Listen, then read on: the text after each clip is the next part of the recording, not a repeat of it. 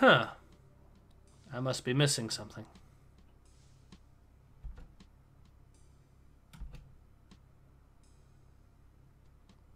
Oh, here we go. I knew there was something else. The cocktail glass is worthless, but I love flex straws. We're going to save the world with a straw. Yep!